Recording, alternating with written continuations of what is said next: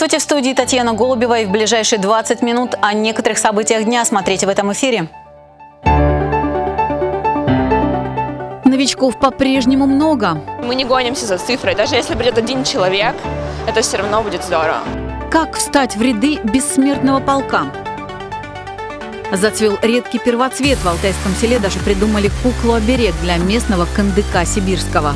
У нее подобран цвет. Даже кандык такого цвета, сиренево-фиолетового. Добро пожаловать! Зачем министру спорта края понадобилась палатка во время матча барнаульского «Динамо»?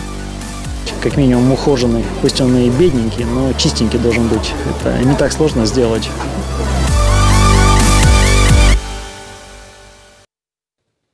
Позади пять выходных дней, впереди очередная короткая рабочая неделя. Ее начало обещает быть очень жарким, до 25 прогнозируют синоптики днем.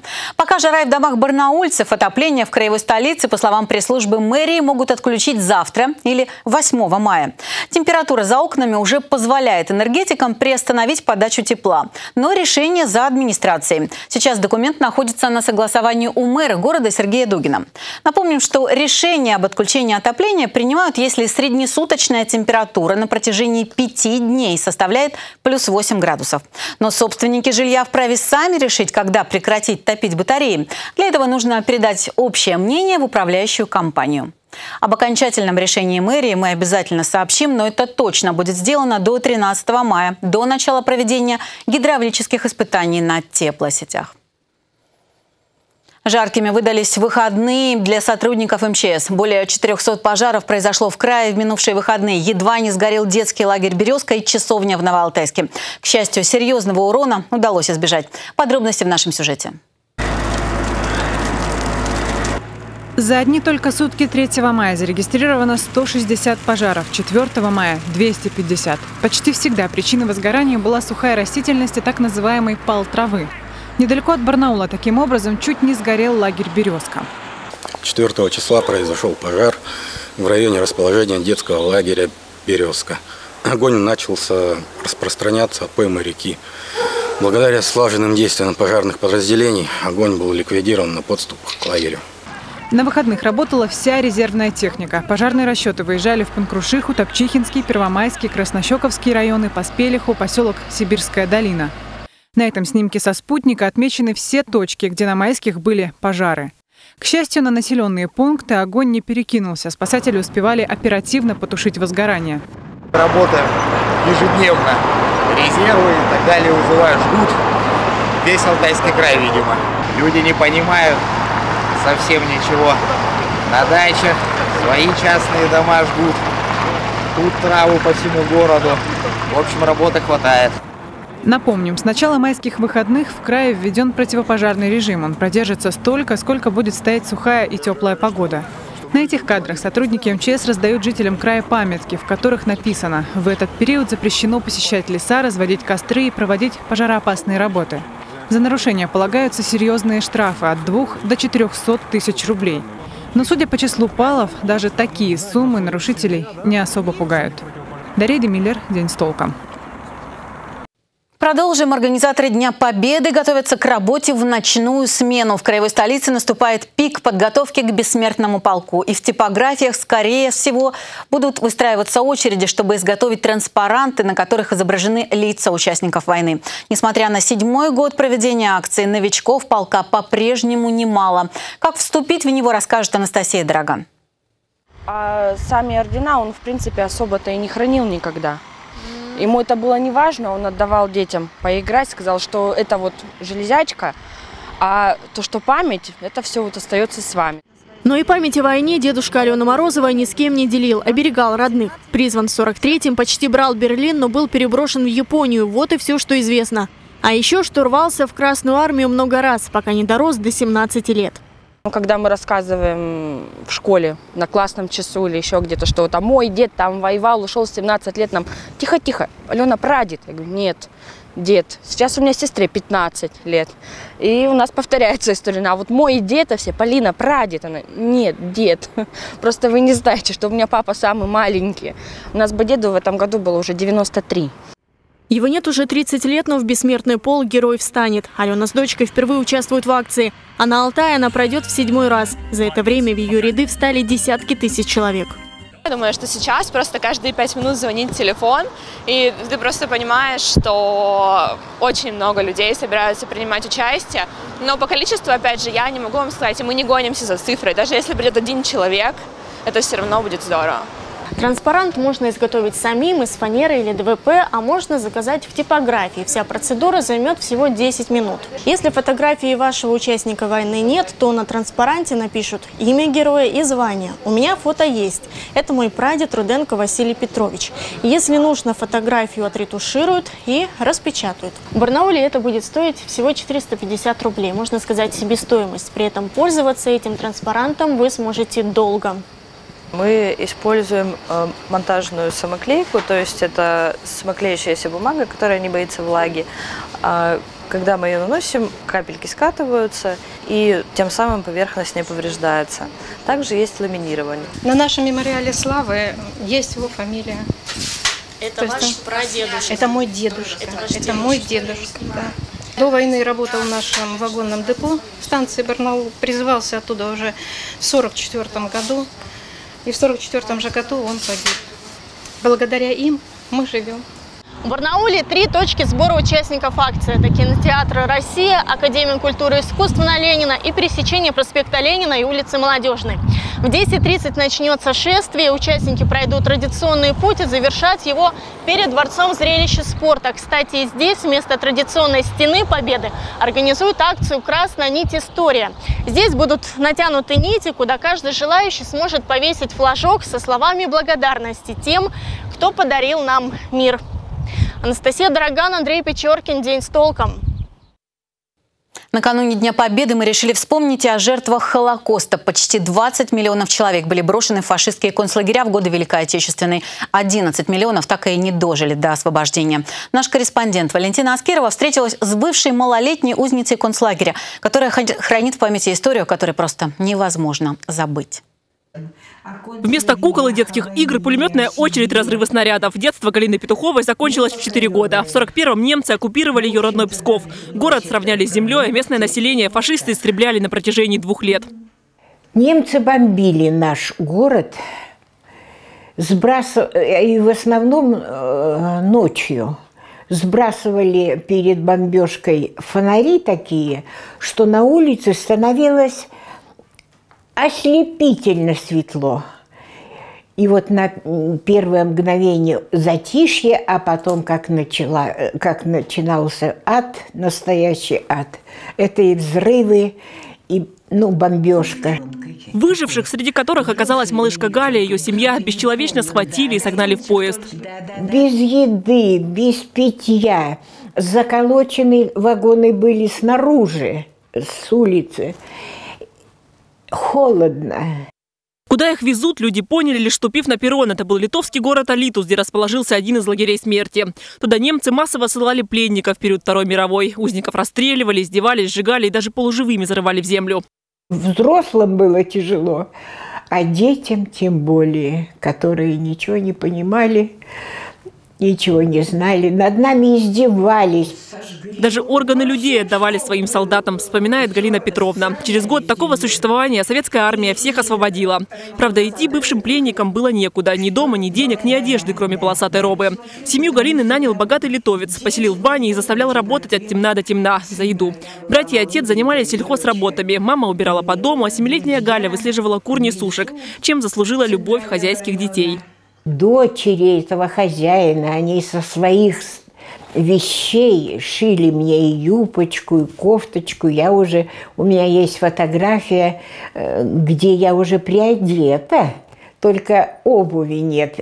Я, когда фотографировались, я травкой при, припорошила свои ноги, что они босые. После того, как отгремел День Победы, семья вернулась на родину, где столкнулась с презрением. Их не брали на работу, сложно было учиться. Считалось, что они самовольно сдались в плен. Семье пришлось на долгие годы замолчать о том, что пережили.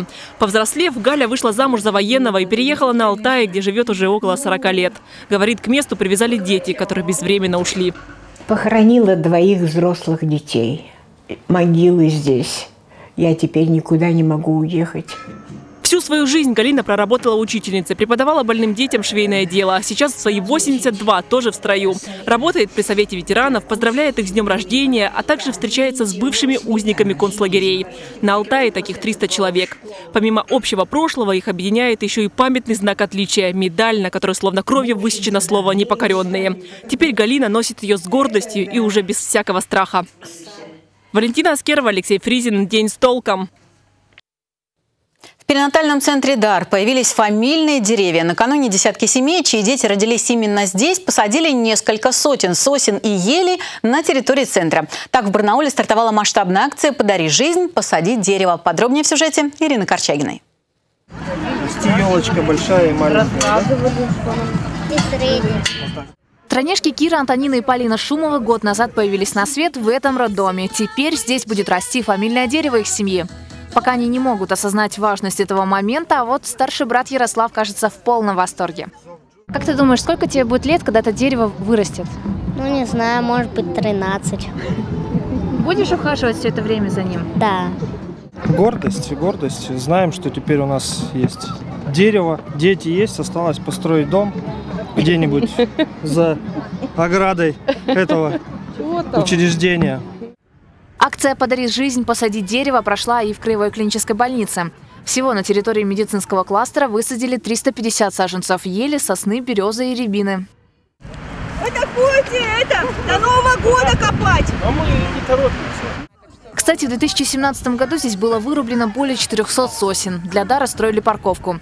Тогда массовая вырубка вызвала гнев у барнаульцев и непонимание, зачем роддому парковка на 500 мест, если ежедневно сюда поступает около 10 человек.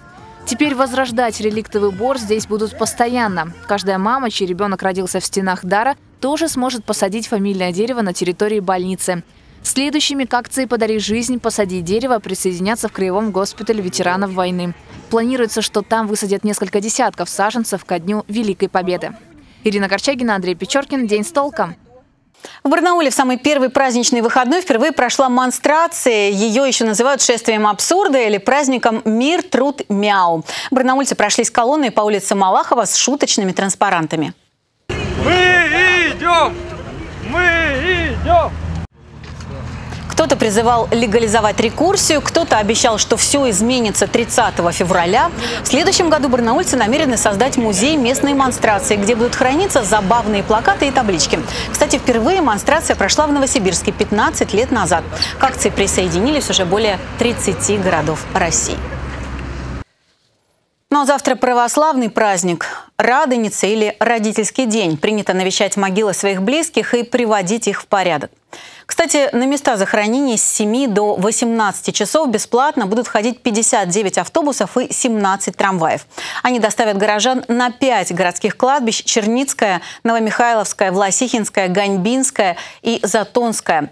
Подробное расписание можно найти на официальном сайте Барнаула. Кстати, май богат на праздники. Новый, необычный. Появился в этом году и в Алтайском крае. Жители села Плотниково Косихинского района решили отметить День цветения кандыка. Это редкий исчезающий цветок, занесенный в Красную книгу Алтая. В чем уникальность скромного косихинского первоцвета, расскажет Илья Кочетков. Жители села Плотникова признаются, хотели праздновать на улице с шатрами да хороводами, но погода подкачала. Так что весь праздничный размах уместили в сельском ДК.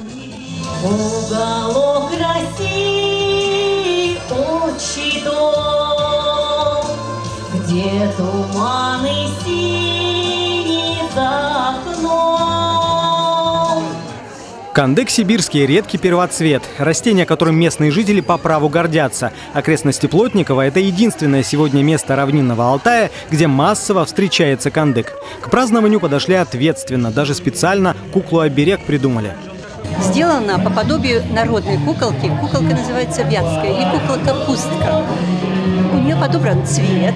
У нас же кантык такого цвета, сиренево-фиолетового. У нее есть тычинки, пести, конечно, зеленые чешелистики. Вот такая наша симпатичная куклежка. Глава местного сельсовета Ольга Люст говорит, люди здесь живут больше 200 лет, и кандык всегда был частью жизни местных жителей. Растет он у нас давно очень, и он занесен в Красную книгу в региональную и Красную книгу России. Произрастает он на равнинной местности в Алтайском крае в единственном экземпляре здесь у нас. Кульминация программы праздника – экскурсия в Кандышный лог. Это система оврагов, на чьих склонах в конце апреля каждый год появляются эти маленькие, словно бы застенчивые цветы. Римма Куц, школьный учитель из Шилоболихинского района, узнав про праздник, специально приехала издалека, несмотря на плохую погоду и непростую дорогу. Многие дети они даже не видели его КНПК этого. И я решила сделать очень много фотографий, все это оформить презентацию, донести до школьников. Старожилы села Плотникова вспоминают, когда-то здешние склоны каждую весну буквально сияли от сиреневого цвета. Поняли, что нужно ценить и оберегать, лишь когда первоцвет начал стремительно исчезать, в основном по вине человека. Это все было заросшее кандыком, и там дальше.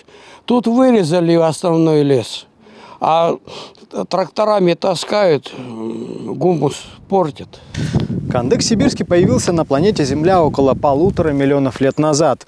Он пережил два ледниковых периода, а вот человека может и не пережить. Его естественная среда обитания, березовые колки, стремительно исчезают из-за массовых вырубок.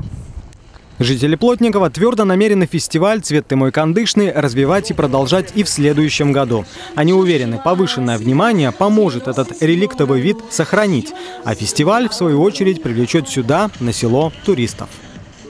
Илья Кочетков, Александр Антропов. День с толком. Но вот это событие точно не назовешь праздничным. Барнаульская «Динамо» открыла серию домашних матчей сезона. Открыла очередным поражением. На этот раз от Томского Иртыша. Болельщики восприняли поражение очень болезненно, ведь помимо разгромного счета 0-4, их любимцы показали абсолютно невыразительный футбол. Подробности у Кирилла Политова. Вот так центральный стадион края встречает любителей футбола. В помощь идут заранее заготовленные печатные издания. Без них прощай гардероб. В числе зрителей инкогнито в этот вечер оказался министр спорта региона. Алексей Перфильев удивился состоянию стадиона и отправился нет, не домой, а в машину за палаткой. В результате брезента хватило едва ли не на весь ряд. Очень важно, чтобы у наших молодых футболистов и юных был стимул для того, чтобы расти, ну, наверное, какие-то нотки патриотизма для того, чтобы играть за свою команду мастеров. Ну, наверное, надо и создавать условия, и стадион должен быть как минимум ухоженный. Пусть он и бедненький, но чистенький должен быть. Это не так сложно сделать.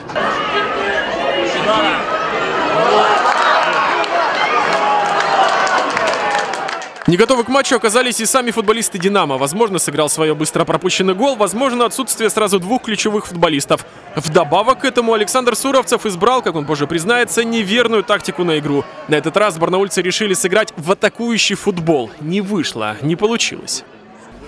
То есть не могу понять, почему то ли перегорели, то ли что. Ну, не, не знаю, честно, как бы. Честно, если, если честно, как бы, ну, ну, мне стыдно, да, за, за эту игру, как бы, откровенно. Ну, на выезде команда не выглядела так, как бы, я даже не думал сам, что до такой степени будет все. Туда же в раздел «Не готово» представители команд единогласно включили сам газон центральной арены. Все 90 минут мяч то и дело уверенно прыгал по кочкам и застревал на перепадах. Отсюда низкое качество самого футбола. Как в шутку скажут болельщики, в пору разве что картошку высаживать. Таким состоянием покрытия оказались недовольны и сами гости поле в таком состоянии, да, я даже не припомню, одно из лучших полей всегда было. Вот что-то произошло, и очень, особенно в центре, очень много неровностей, очень сложно играть. Сложно, но можно, как и показал сам Иртыш. На четыре пропущенных гола хозяева не смогли ответить ни одним забитым. Могла быть и вовсе Аргентина-Ямайка, но в планы Богдана Корюкина это явно не входило.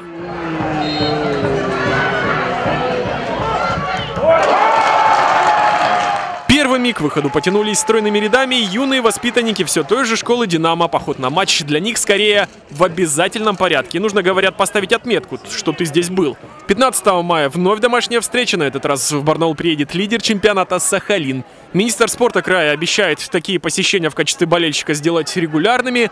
Заодно держит на готове всю ту же палатку. Мало ли, вдруг опять пригодится. Кирилл Политов, Николай Шилко. День с толком.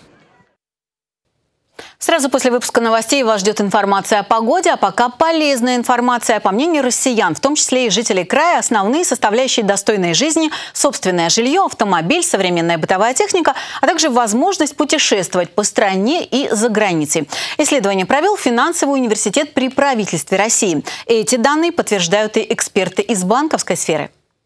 Собственный автомобиль, бытовая техника, путешествия – частые запросы от наших клиентов, которые приходят в Банк Восточный за кредитом. Иногда они хотят не что-то одно из списка, а все сразу. Мы одобряем и такие желания. Скупой, как известно, платит дважды. Поэтому в банке рекомендуют не экономить на своих желаниях и готовы для этих целей предоставить необходимую сумму. В Банке Восточный можно оформить до 1 миллиона рублей наличными с процентной ставкой 9,9%. Погашать такой кредит можно до 36 месяцев, что делает ежемесячный платеж комфортным для клиента. Соответствовать стандартам качественной жизни несложно. Главное выбрать комфортные для себя условия в надежном и проверенном банке. Через пару секунд о погоде. Спонсор прогноза компания «Эвалар». А у меня на этом все новости. До встречи.